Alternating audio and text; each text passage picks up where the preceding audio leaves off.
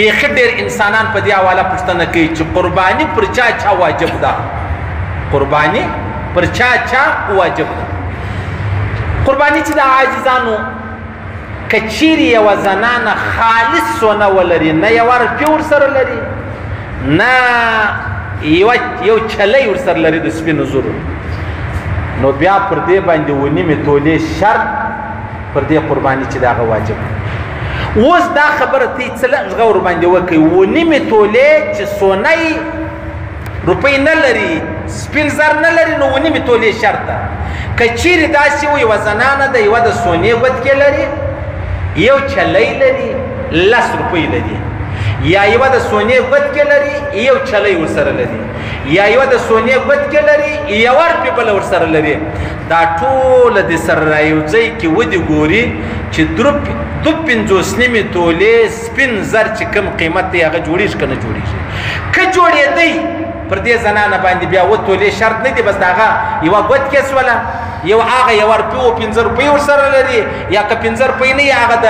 سپینو زرو یو چلی دی په پنځه روپۍ د هغه دی ورسره یو ځای کې دواړه یو ځای کې درو پنځو دو پنځوس نیمه تولې سپین زر جوړیږي کنه دا هغه قیمت جوړیږي کنه دا هغه قیمت چې دی هغه نن ورځ درو اویا زره 1500 روپۍ دی درو اویا زره 1500 روپۍ څوک ولري د قرض خلاص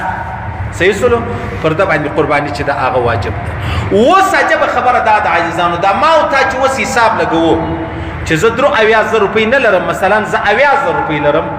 په کور کې وګوره یو داسې شی سته چې په ټول کال تا نه دی استعمال کړی که داسې شی وو ستا بسترې ستا لوښي ستا کپړې ستا لباس پلانې پلانې شی په ګرد کال تا نه دی استعمال کړی هغه به بیا شمارې دا یو اوس ګور از مفتي زنانې څونه ډېر بسترې لري وډلې پرتی دي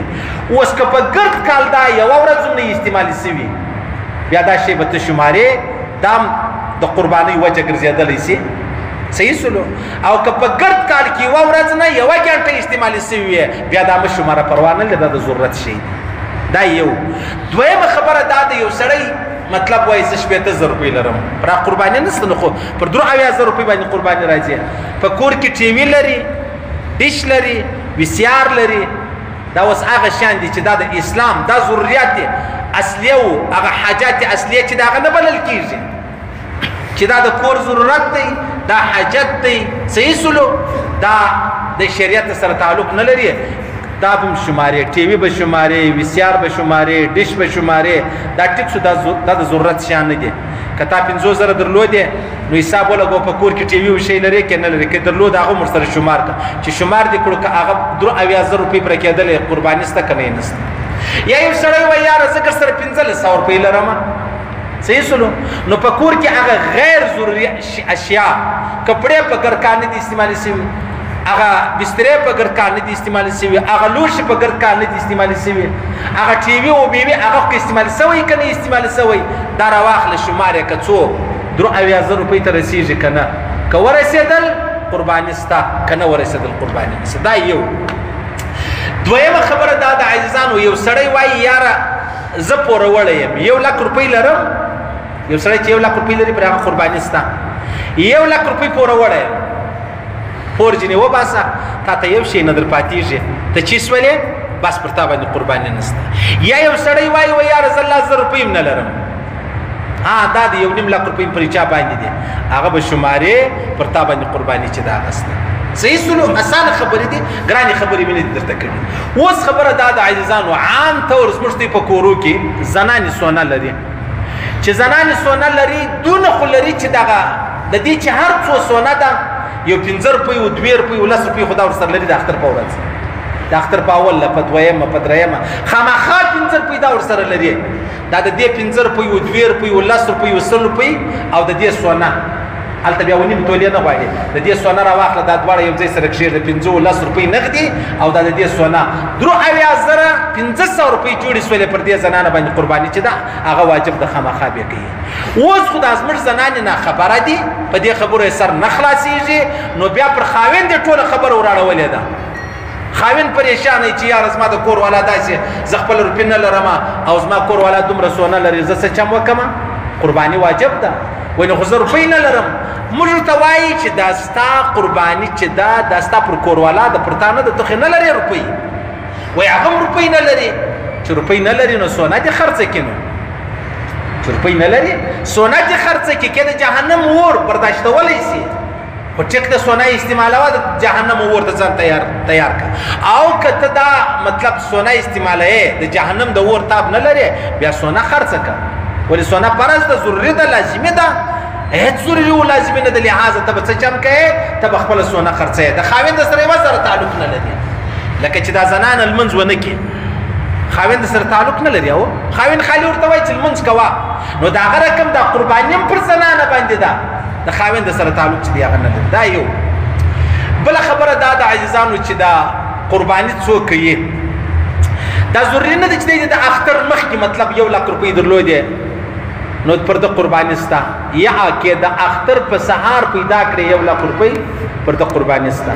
د اختر په سهار نه درلود په دویم یو لک روپۍ پیدا کې یو لک روپۍ مثال در کوم دغه خضره او 1500 روپۍ دی درو اویا زره پنځه سوه روپۍ د اختر په دویمه پیدا کړلې پر د قرباني واجب شو په اوله دویمه شی نه درلودې د اختر په دریمه سهار اتیا زره روپۍ پیدا کړلې پر د قرباني واجب د اختر پر دریمه ماجیګر المر پر وتو سه لس منټه مخکې یو لک روپۍ پیدا کړلې